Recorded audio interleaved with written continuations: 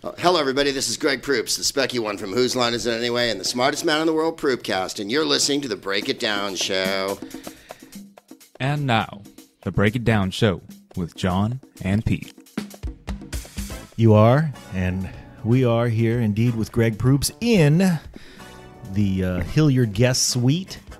Hilliard will be joining us as well, our frequent guest from the Screenwriters Rant Room. But hey, Greg, god damn, man. Hey, Jon. What an honor it is to have What you. up? Yeah, thanks. This, We're this is next to a construction site here, in case you hear any errant noise. It isn't the beating of our hearts, It is not the beating although of our our hearts are beating uh, at a regular pace.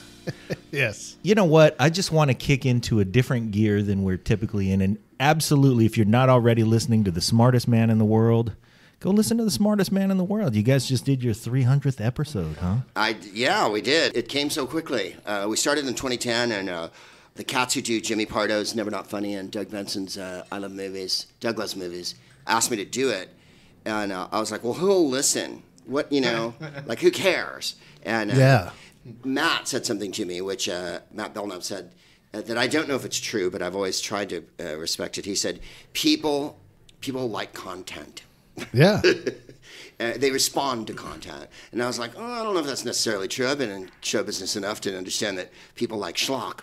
So I've tried to have some content on the show, and I, and I think they have. The fact that we're on after 300 episodes and uh, winner of no awards, and, uh, we're, we're the longest running award seeking podcast in my, and we haven't made a cable show out of it yet, which I'm pretty proud of. That's hilarious. I need some pen and a paper. We're going to give an award out today. Yeah, right. We'll make a I would certificate. appreciate the Hill Dog You guys Award. do one a week or two? I do one a week, yeah. So we did one live at uh, Bar Lubitsch last week, or Sunday, uh, two days ago, and then uh, we're going to do one at my crib at the Porpoise of Fruititude, or the, por- the Fortress of Proopitude. I like the porpoise of Fruititude. We, all, we call it both all the time uh, because I get everything wrong this week because I don't have a live date. But we try to do it live generally. And th- last year we did it in uh, uh, London, Glasgow, Paris, Antwerp, Stockholm, Montreal. You know, I, we try to get around with it. So Yeah. Yeah. And we were wondering because you've been doing this so long and, and you're so good at improvisation, is that almost kind of like a necessity for you just to get on there and, and get some of that stuff out? Or are you working on things? I mean, it just seems like that you have to do it.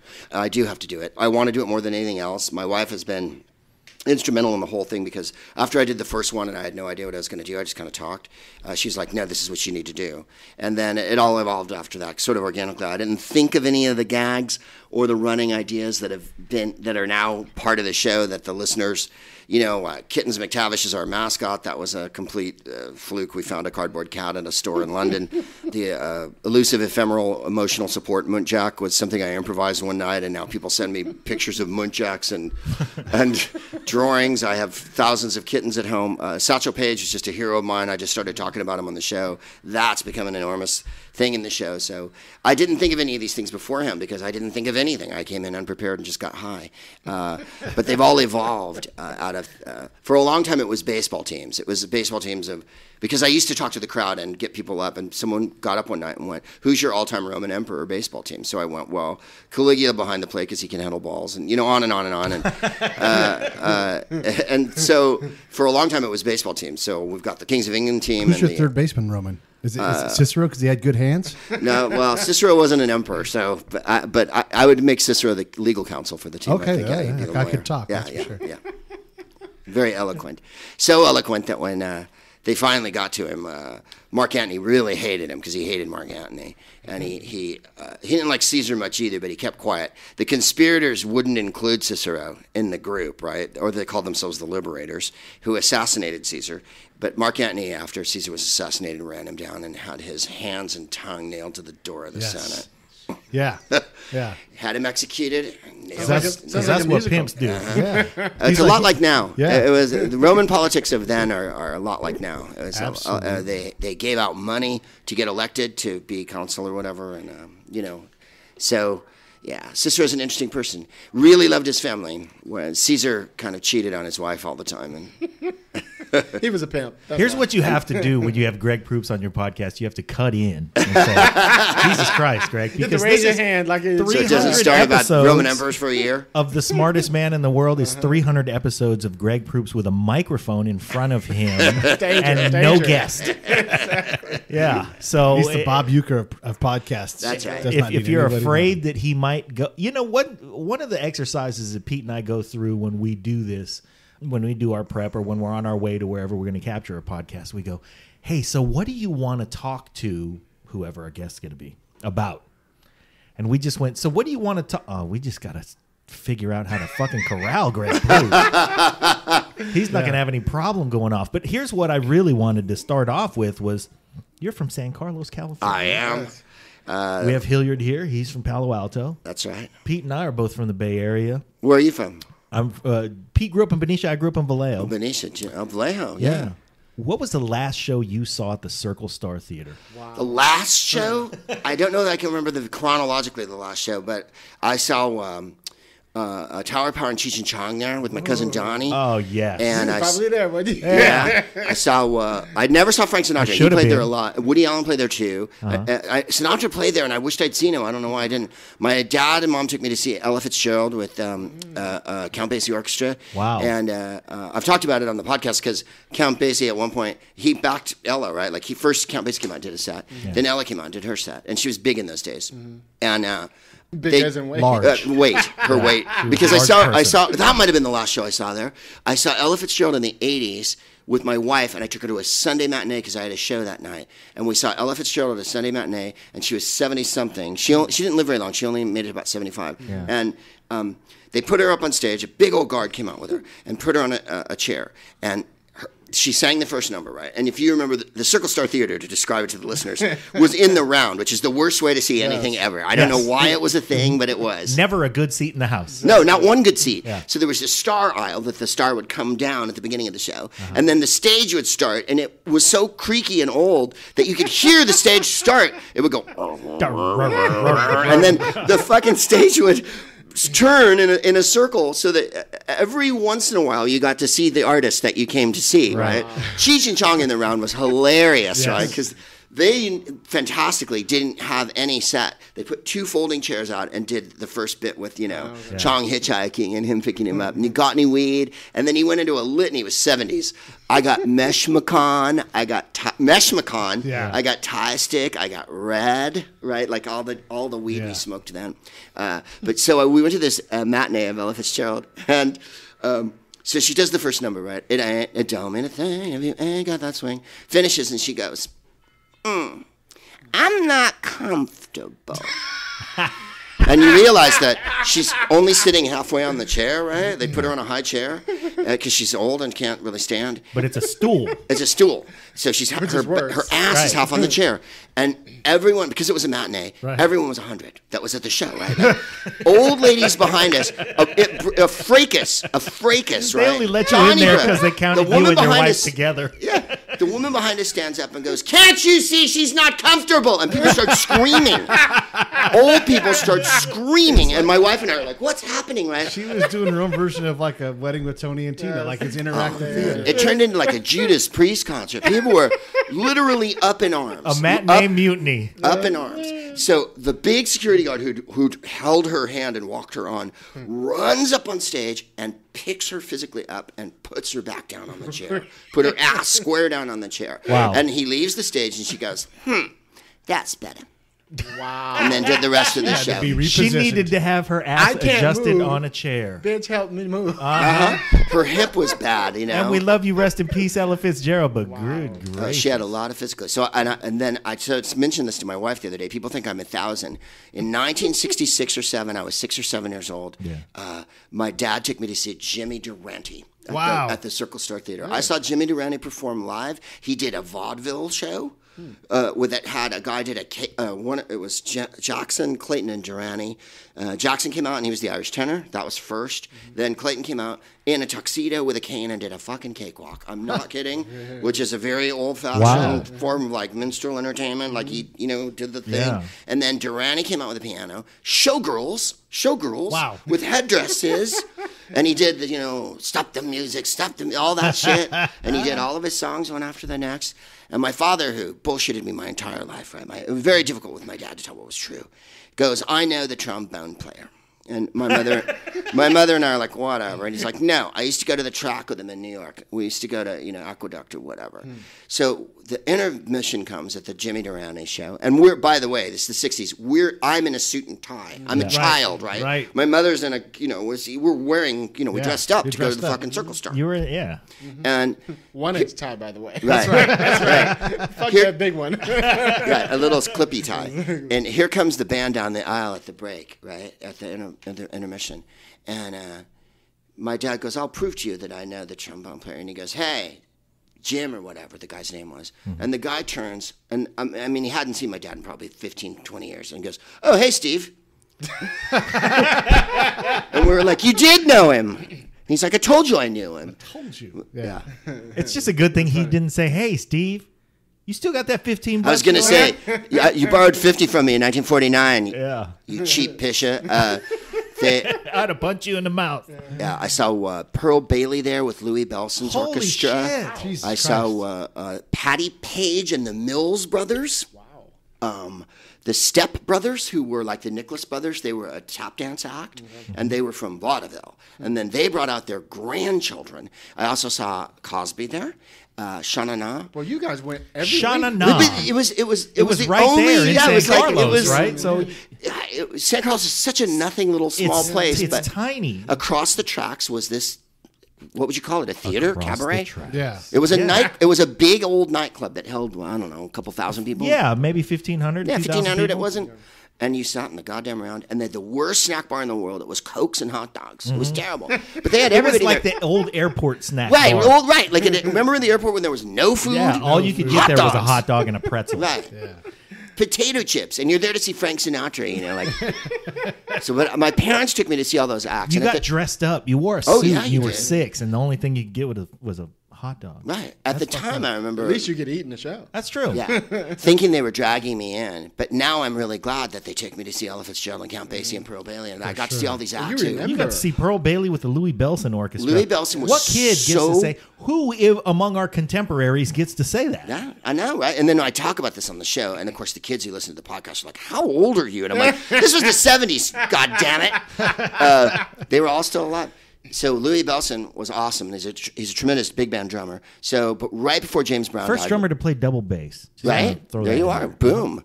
Uh, right before uh, Says the drummer. When did James Brown die? Five, seven years ago. Yeah, seven years About ago. five, seven years ago. We went to see him at the Hollywood Bowl. In the middle of the show, and James Brown show. I won't, I won't go into that because I won't let you guys talk. But this two bands on stage: the Soul Generals that had his kids in it, and then another band. They switched bands. It was really wild. In the middle of that show, ladies and gentlemen, Louis Bellson, and he must have been eighty. Holy smoke. And they brought Louis Bellson out, and he just did a solo for 10 minutes in a suit and tie. He looked like a mafia. You know, right? Like he had a gold tie and a black suit on and the cufflinks, and he came out and he just wham, bam, blah, blah, blah, and just laid it down for like 10 minutes. Laid it And I said to my wife, I saw him in 1974. and he was, I thought he was ancient then, you know. Wow. He I was Pearl Bailey's band leader and husband at the time. yeah. I saw Buddy Rich do that at Marriott's Great Oh God, America. yeah. Set up right there, like as you walked in, like once you got past the uh, merry-go-round, like Yeah.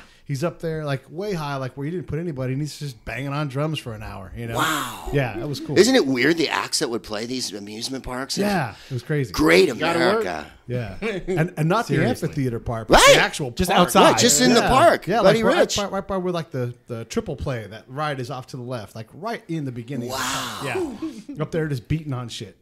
It's crazy. Louis Bellson used to do this thing because he had two bass drums, and he would do this thing where he would show off what he was doing with his hands. He'd play some crazy rudiment on the snare drum, and then he would play it with his feet. Yeah.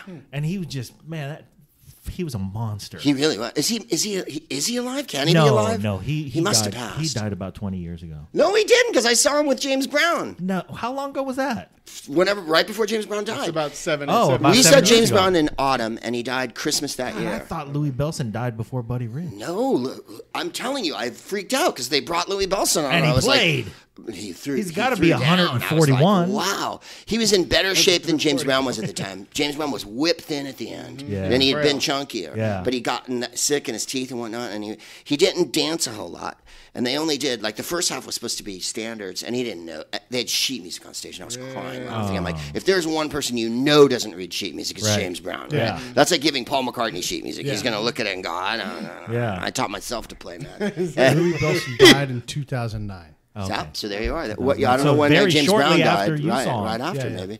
Yeah. And so they He probably said, "I've seen Greg." Now go." see, Now I can see go. Greg and die. Yeah. Yeah. So that James Brown was supposed to sing standards because he was revisiting an album that was the theme of the night. That's why we Uh-huh. went. We were like, I'm like, he made an album in the '70s where he sang standards. So he hammers through the standards, right? I wouldn't don't wanna see them. that. He hasn't rehearsed them. Yeah. Willow, weep for me, and then in the middle, I feel good, right? Like he's just right in the middle, you know. So then they switched to the other Hey, he knows where his bread's buttered. right? and they did Sex Machine for like 40 minutes. Uh-huh. Just one groove, man. And they did like three going, numbers, motherfucker. maybe three or four numbers. And then he brought Tommy, the woman that he was with, that white woman he was with at the end Yeah. before he died with Yeah. the red hair. And he gave her a big intro, and she came out and sang a number, and everybody's like, "What's happening?" Yeah. I think it was so he could go off and smoke. Probably. Interesting. I saw James Brown at the Warfield. Nice. Yeah. I was hoping you'd say the Fairmont because he used to play the Venetian room. Oh, Remember that that, would little be room in the awesome. Fairmont? Didn't Yeah. we uh, talk to Jeff Traeger about that? Yeah. About Yeah. seeing James Brown in the Fairmont. Um, Was that more in his prime? yeah, Yeah, yeah, yeah. The smack dab in his prime. I mean, when he would come around and, and really command like the nice places to play, you know, and that's where he did it. Well, But- he also like Tina Turner had that period where it Right. wasn't happening. Like Down the low. late seventies, early eighties was not a good financial time for him. So he was playing I mean, nightclubs. if you think and- about it, his comeback was coming to America. yeah, yeah, Yeah. which is what 85, Yeah, 84, and 83 in I would say Eddie a solid eight to ten years before that were not good to him. No, in between like uh, what's that payback and all that, and Yeah. then is is is fallow. Yeah, Because he did have the Blues Brothers for a minute. Brought him a little that's bit. Yeah, true, huh? yeah, that did. was like It's true. seventy. He had a hundred comebacks, but yeah, the big one was living in America because that was a hit. When I woke up this morning, Yeah. Yeah. I heard a disturbing sound. Well, I, I love think that that really coincided with a lot of hip hop groups sampling him at the same time. And Absolutely. so everybody was sort of hip hop really brought him rediscovering- back, I think, and James George Brown. Clinton, like you know, the, the, because they're, every sample is them. Yeah. True. And, and being in Rocky wasn't you know Rocky three? Yeah. wasn't bad. Or Well, four, that was Rocky living. four. That was what living in America. Yeah, was. right, That- right. That was that. made big. Detroit City. Yeah.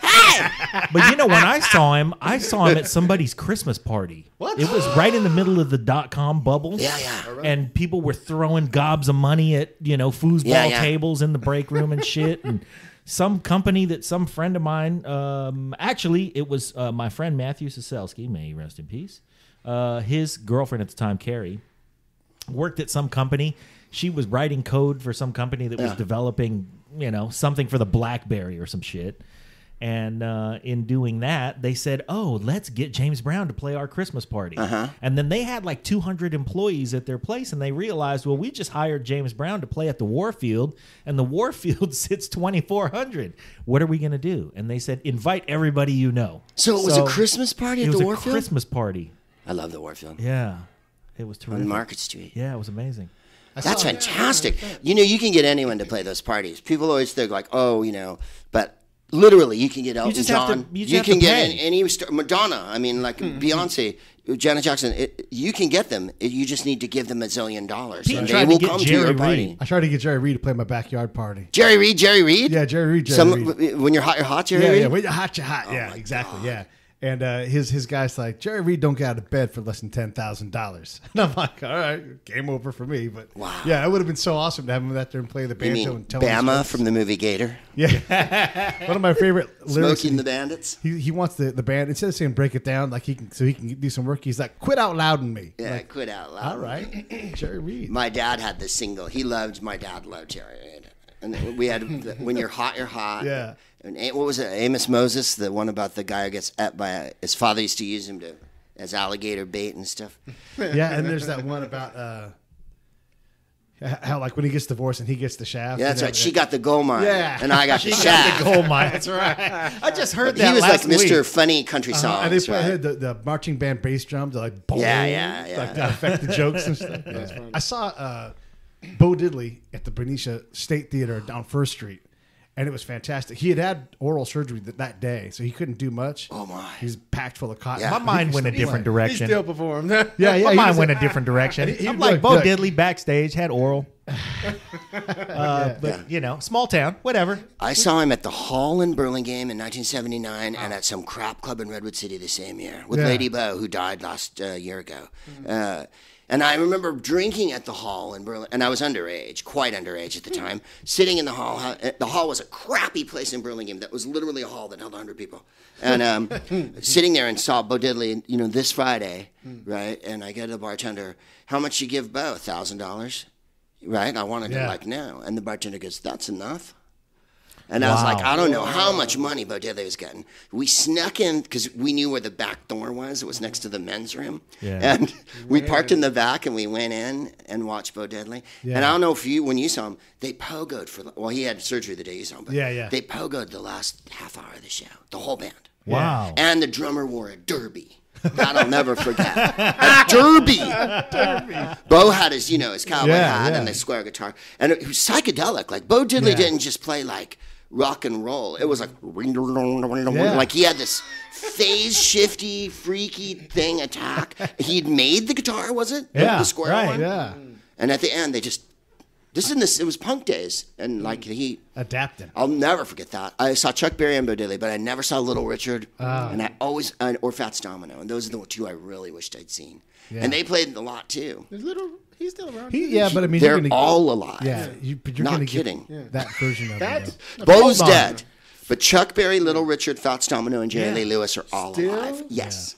Is Chuck Berry's Fats Domino still playing? No, he retired from playing, but he did play up to a couple years ago. He was playing Jazz Fest and stuff. I know the Killers always been Katrina was the worst for him because Oh, he- yeah. the ninth ward's where oh, he lived, lost and he had to be lifted by a helicopter out of his bloody house, and it's just tragic that we let that happen to Fats Domino. Wow. We were watching uh, The Girl Can't Help It the other night. You ever see that movie from the 50s? And it's the movie's funny. It's Jayne Mansfield and Tom Ewell, but what's great about it is Little Richard, Gene Vincent, and Fats Domino are in it, filmed in Technicolor. So it's one chance to see them in a grade A Hollywood production. And Little Richard does uh, Ready Teddy, and Fats Domino does uh, what's that one? Monday morning, my head is bad, but it's worth it for the time. That one, uh, Sundays and whatever that one's called, Blue Monday, and it's at a dance. So the camera comes in, and there's all these teenagers dancing, and he's on stage singing, and he does the whole number. And then they has, they've put a camera down here, and it shows they're all barefoot and stuff. It's the cutest number, and it's in bright Technicolor. Wow. But that's a good movie if you want to see a couple of old. It's called The Girl Can't Help It. Can't Help Jane Can't it. Mansfield. Girl Can't right, Help and It. that's the theme song. Yeah, I remember that. And Little hmm. Richard sings it, and they show her walking down the street with her chest, hmm. and the guy's holding the milk ball, and the milk ball explodes, and the guy looks at her, his glasses crack, steam comes up, you know, like everywhere she walks because her figure's does. Ridiculous, right? It- Yeah. Oh my God, it's hilarious. And yeah, they keep playing that. And but little Little Richard does a couple numbers in it, and then they show G- Gene Vincent doing Be-Bop-A-Lula, and they, that's the best part of the movie is like Yeah. an archive of how great they are. Yeah. But not crappy black and white.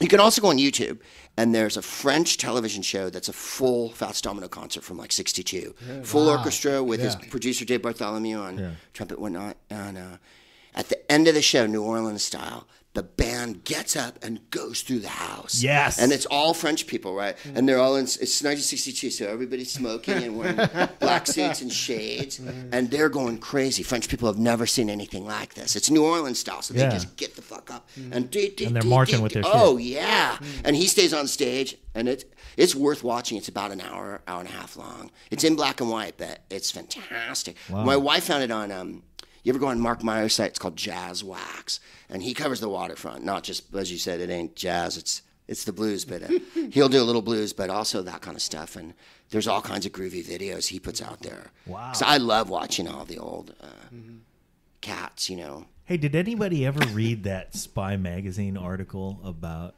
Chuck Berry. Mm-hmm. Oh yeah, it was so vile. I don't even want to think about it. Oh my god. What, what were they talking about? What happened? In, Oh, he's a coprophilia type guy and uh, all scatological sex. My and, man is freaky. Oh, yeah, he's He, it was neat though how they set it up. I'm not going to encourage. Well, I guess I am tacitly encouraging everybody eek. to go. I find prefer it. to think about his gifts. Yes.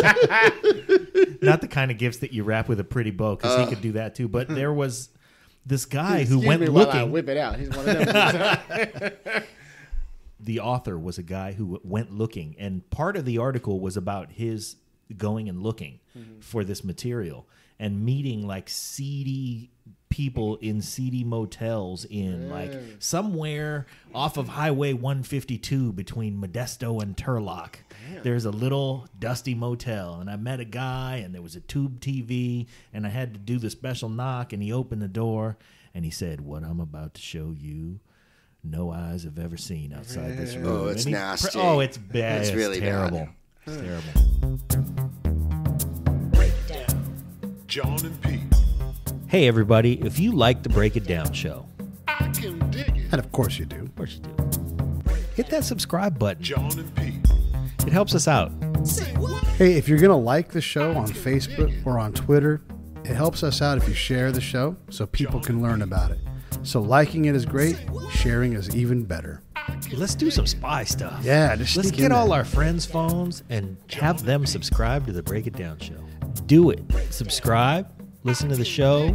If you love the show, tell five of your friends. Or if you hate the show, tell five of your friends.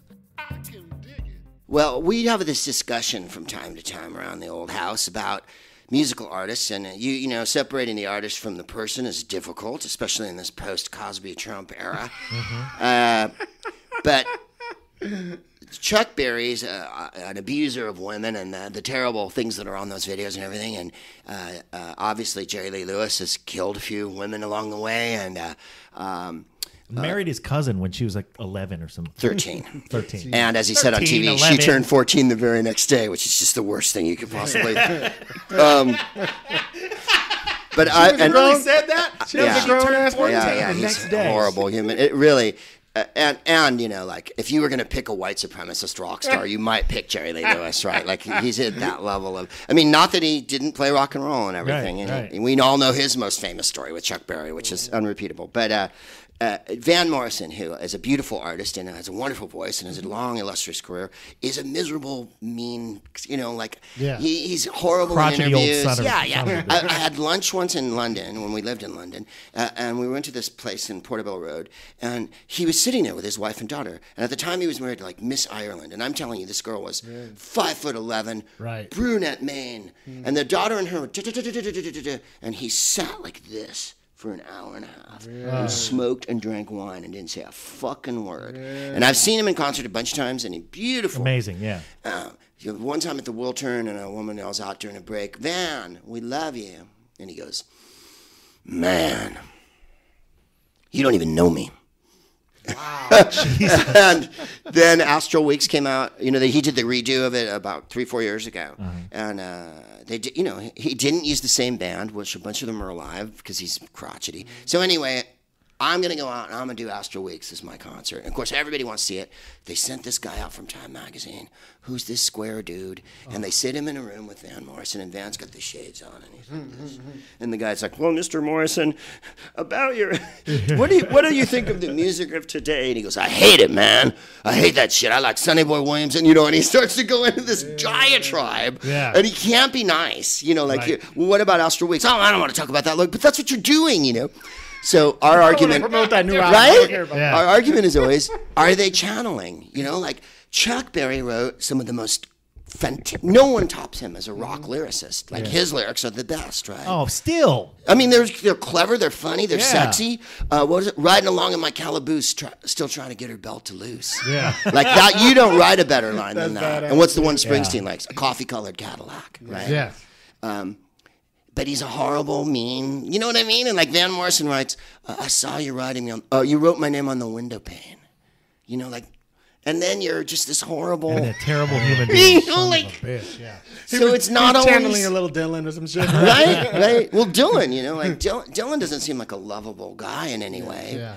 And that, but but he wrote, uh, what is it? Uh, you know, uh, it was back in another lifetime, one of toil and blood, when blackness was a virtue. Like you're like, how do you think of that? And then be this miserable fucker who takes drugs and sits outside and smokes and you know glowers at the Bible, Glowers. as he was once described. Is is he miserable? I didn't. I don't know that he's miserable. I think he is happy in what he does. Okay, but he if just you're makes everybody band- else miserable. I, I've I've heard stories from people who are in his band that say like he doesn't really like talk to you or anything, you know. And there's no set list. He starts playing. Yeah. And Well, you I join just, in. I just watched. I don't mean to interrupt you at all. Oh, I please. just I just watched the. Um, You'll never get a word in if you don't. Yeah.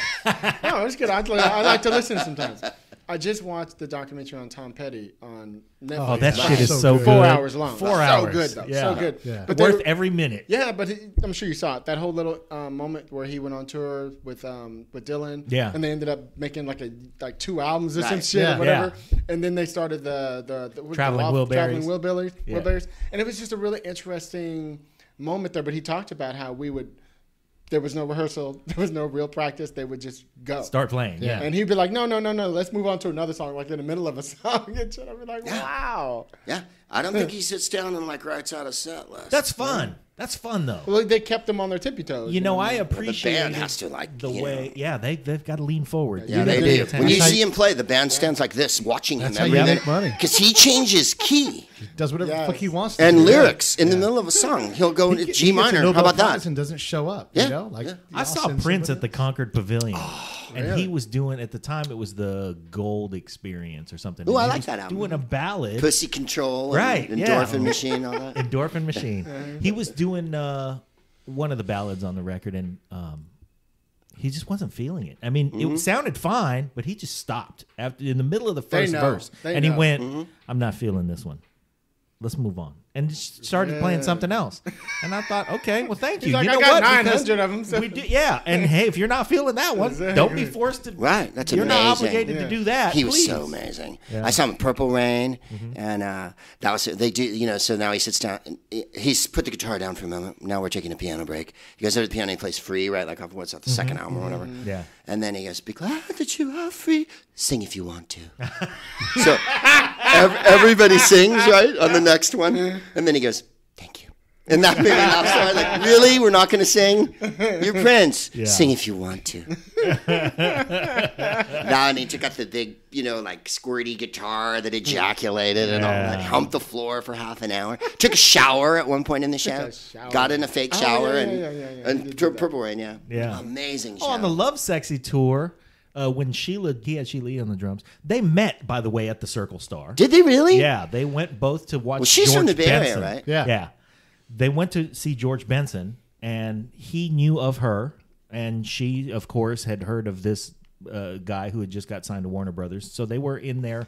You know, hell, they might have been 19 at the time, hmm. but they met backstage at the Circle Star. Yeah, I did not know that. Her, I've got to meet a couple times, and I love her. yeah. Uh, she still looks beautiful. Doesn't she? she's Oh, yeah, she's still so hot. absolutely stunning. I did about ten years ago. I did the ten thousand dollar pyramid, whether or whatever it was called, twenty five thousand. When Donny Osmond, However hosted much it was at the time. and they, the, you know how there are two people and then the two mm-hmm. contestants, and the other person was Sheila E. And I was like, Really?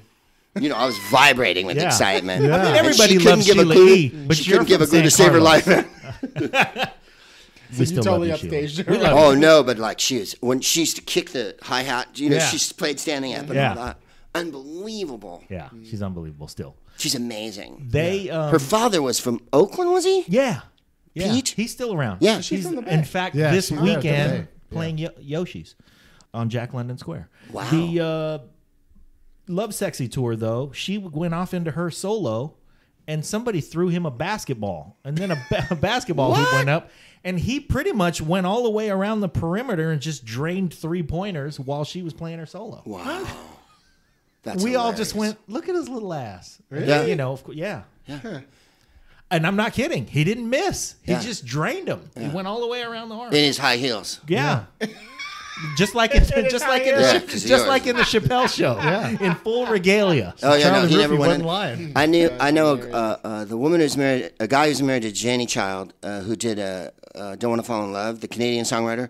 Her husband's named Cat, and uh, he works with Wayne Brady, right? And uh, uh, and John Mangum, and I met him through them. And I've worked with Cap, and he was with, he was in Prince's Band too. And he said they'd get woke like uh, a phone call. Um, Prince wants to go shopping. Everybody, full hair and makeup.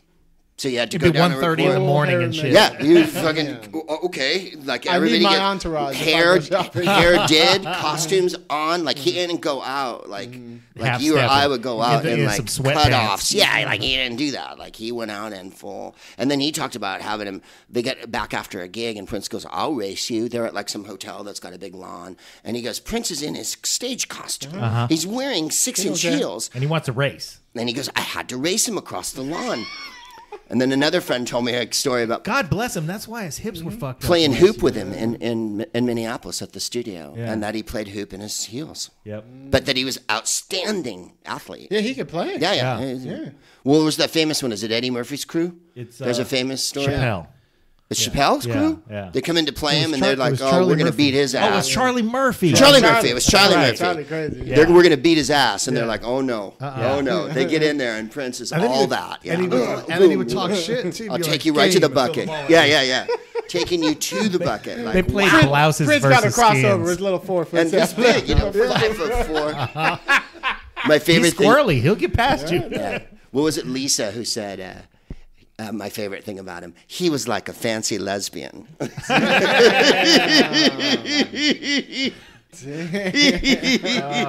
no, I saw him a couple times. I saw him on the Love Sexy, but not on the tour. It was one of those Oakland, Uh-huh. and he had done Love Sexy at like the the Coliseum. the- yeah, he did And then it was a theater in San Francisco, like the Warfield or something. Uh-huh. Like a one. in saw the- after show. Yeah, one in the morning gig. Oh, yeah. Brought the whole band over. Kat was in the band then, Uh-huh. and uh, uh, and Sheila whatnot. Just barely, yeah. Yeah. Yeah. Wow, the thing that he used to do is after his big arena show, he would go to some place in town, Mm-hmm. and if you were holding a hundred bucks, you could get in, and it would be some place like Ruby Sky or the Warfield or right. some little tiny place. Some intimate place. Yeah, Okay. and if you had a hundred bucks mm-hmm. right then, right there, you could drop it on a ticket and get in right then. Yeah. And then he might do another one at three thirty Oh, yeah. somewhere else at a smaller joint. That was what's so weird. I mean, I, I know we didn't know all about his painkillers and the, how hurt he was, but he was still doing those gigs up till the end. Oh yeah, I mean, three in the morning gigs, Yep. still doing them, and he didn't just do like twenty minutes. Mm-hmm. He did like two and a half hours. He you did know. two and a half hours. You were exhausted at the end of the gig. You can like- imagine how he felt. Right, you know, like he, I guess I thought he was always slim and athletic, but he must have his hips must have just been Oh, they were demolished. broken. Now I have a friend, Josh Luck, who uh, was in the New Power Generation. It was like mm-hmm. the fan club, but he was the super in. Like he would go to Minneapolis for Prince's birthday and mm-hmm. shit. Wow, But one year he was when Prince had his residency at the Rio in Las Vegas. Mm-hmm. which I uh, wished I went to. Oh, Yeah. Well, Josh went to it for his for his birthday, celebrated it, bought you know, got the room package or whatever. And when he checked in, he went into his room and there was the flashing, you know, the phone flashing. When he got there was a voice message and it was somebody saying, "Hey Josh, this is so and so from the New Power Generation. We understand that you're here for your birthday and Prince would like to see you at 1:30."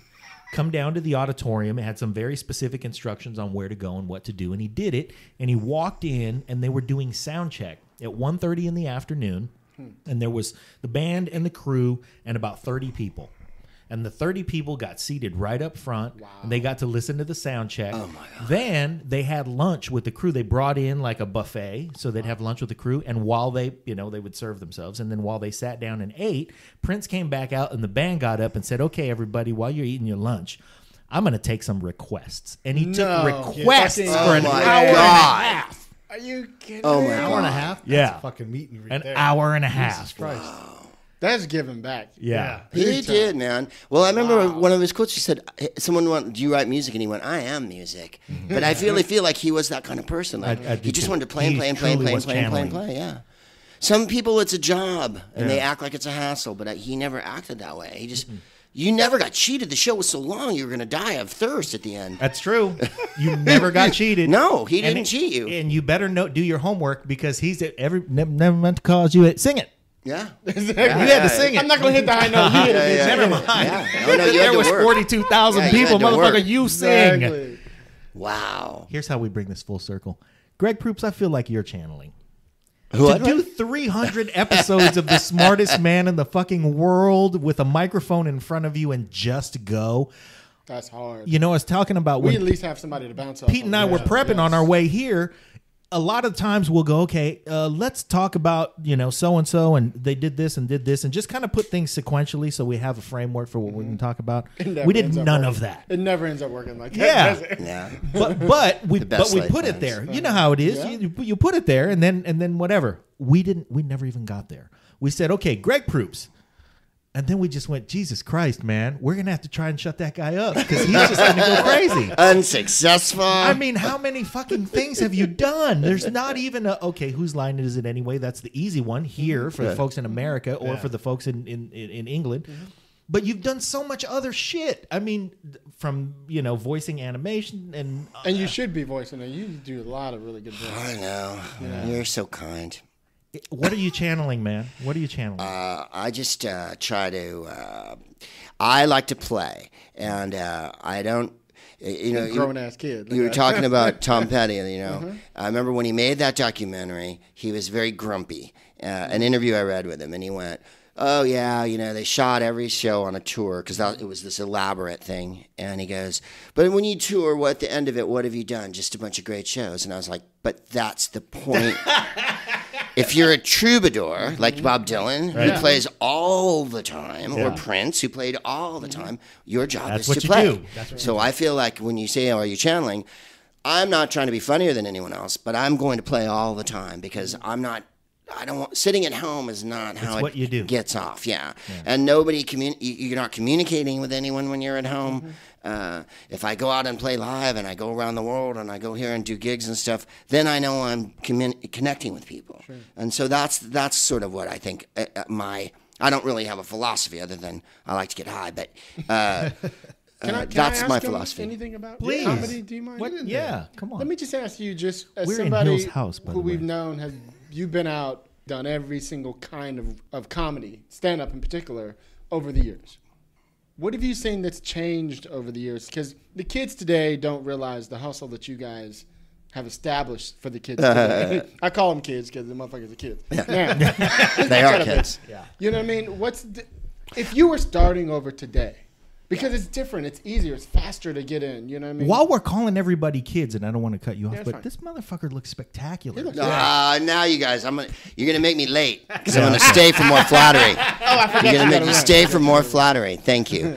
Uh, Pretty I- Ricky's what they call I, I it. don't know what I'd do now if I started. I, I, I started playing live in clubs, and that was the only way then. Yeah. This was in the ear- late 70s, early 80s. And the early 80s, the only way you got a gig was you went to open mics every single night. And so when I started, I started um, in San Francisco then, and it was Warren Thomas, uh, uh, uh, Paula Poundstone, Bobby Slayton. They were geniuses. Uh, Michael Pritchard, Will Durst. Jake Johansson started like a year after me. And I saw him do all open mics, watched him develop into the great comic that he, when he first started, he didn't get no laughs. And then it took a couple years, and then he figured out how his thing worked, you know? voice, yeah. And, you know, like you see Jake, like Jake's indelible. You know how Jake works. But I go back with him so long that we saw each other when we weren't funny. and uh, uh, I wouldn't know now whether I would start uh, on YouTube like Bo uh, uh, Burnham or, or whether I'd write. You know what I mean? Like there was no option when I started. The only option was get up every night, Is there is five there, nights. Is a week. that better? Was that better for you? It was better for me, but it also like that's the old-fashioned part of like these all the musicians we're talking about. Prince and I were the same age, right? Around the same age, and uh, 17, 18. no, I mean born at the same time, and and I think he felt the same way. Like from the time he was a kid, he was out gigging. yeah, he was. old You know what I mean? And I don't think there was another way around it. He didn't sit at his house and go like, "I'm going to make a thing," and like he went, "No, I'm going to play gigs until I'm great." The way James Brown did, the way Ray Charles did, the way anybody good did. Um, so I don't know another way, but I know there's a million other ways now. The biggest change is everything comes over the telephone now that's liberated us. Uh, I had a manager say to me a couple years ago, "We've taken back the means of production. I don't need a TV show to make me famous. I was lucky enough to be on one when TV was really popular. Yeah. Mm-hmm. TV was popular in the 90s, and it's not quite as popular now, but everything that comes over your phone is popular. And the podcast allows all of us to mm-hmm. go directly to the people who want it, which we never had that opportunity before. Mm-hmm. However many downloads you get on your show, I guarantee you is more than will fit in a club. You know what I'm saying? Yeah, Yeah. I can go play Wow. a club, and there That's a might really be 200 people in the club, maybe 300. I could even play a theater with the Whose Line guys, and there's 1,500 people. But if I do a podcast, it's 60,000 people Mm-hmm. or 100,000 people, and the the reach of that, Yeah, the it's reach of that. Now, it doesn't financially remunerate the same way that other things Two have. Two hundred people in a club. used to. Right, but uh, so one thing feeds the other, and I think that's the biggest, most important, most exciting change is the immediacy of comedy. We used to have to wait. Oh my God, uh, uh, Carlin's going to be on Midnight Special, Yeah, right? yeah. Or Pryor's going to be on the Tonight Show, and you like fucking wait, and you couldn't tape it and nothing, and you, you know, it was like an event. I got to stay up. Or I'm going to go see live at the Sunset Strip, but I got to go to the movie theater Yeah. and see it three times because I can't do it another And way. you got to go to the movie theater with the sticky floor. By the way, I saw that at the Empress. Right? That, that place Right? wasn't right.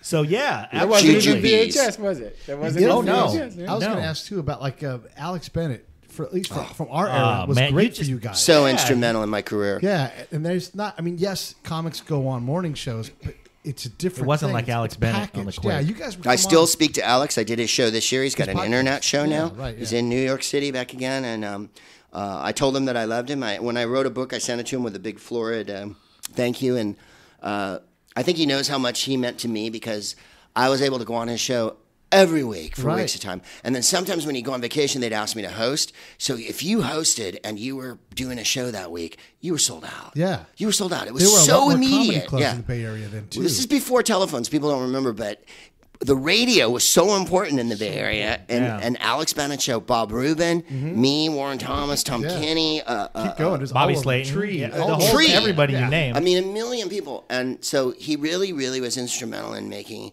comedy popular. And he had really decent taste in comedy. He didn't actually like shitty comics. So the comics tended to be rather intelligent and had something to say. He didn't like Hackosaurus. You know, the, there was never like jugglers or, you know what Yeah. I mean? It wasn't that kind of comedy. Yeah. And uh, uh, he would put on shows and he would pay good money. He also had I remember studio getting like, audience. He of, could come uh, in. fifteen thousand dollars to do a show in like 1980 something to do a 15 minute set, which was like That's you know huge. Well, I mean, he didn't have to. He could have given us 250. We'd have done it, but it was like no, it's at the Great American Music Hall or the Masonic Ah, or whatever, yeah, yeah. and like so everybody got good money, and you just Mm-hmm. came out and did a set, and everybody knew you from me. It was kind of like Alan Freed, right? Like that, Mm. the rock and roll show. Like I'm gonna put on this show and put on seven, eight comics. Yeah. And everybody, I'm gonna pay everybody okay, and Top of the pops. That's right. right, right. And Yeah. so you don't. It's not one person all night. It's mm-hmm. 7 You know.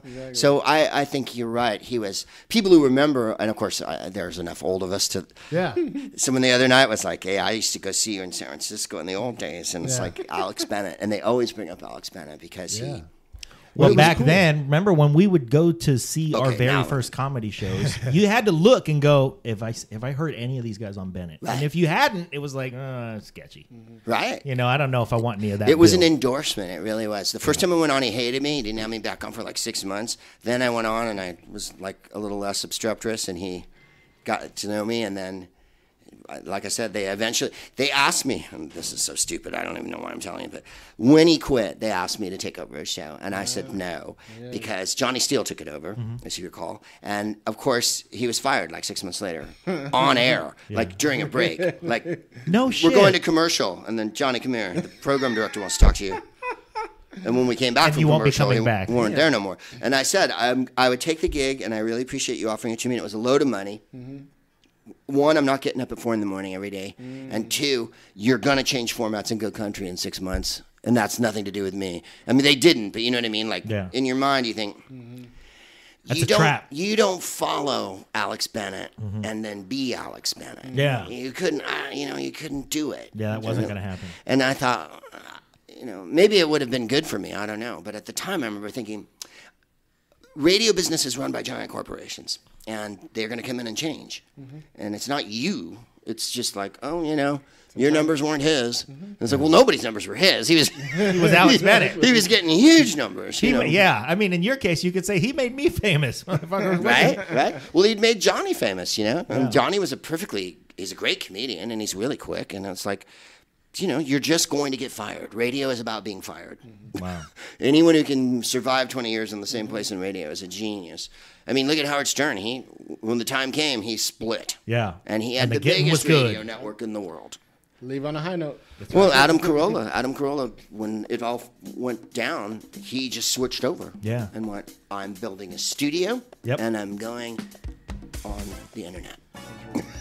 Thank goodness. Yeah. Hey, All right, I uh, have to go. Yes, we are respectful of your time. You're Speaking beautiful. of let, letting you off on a high note, thank you, Greg Proops. You man, we're you, man. enormous fans and even bigger now. I could stay for two hours and done this, but I, I really do have to go. I'm sorry. I didn't have more time. Yeah, oh, thank you very much. Can we Thank do you, it Jon. again another time? Yes, 'Cause I please. know Thank you, when Jon. our- Thank you, Pete. Thank when you, we- Hilliard. Yeah, Yeah, no problem. thanks. Of course.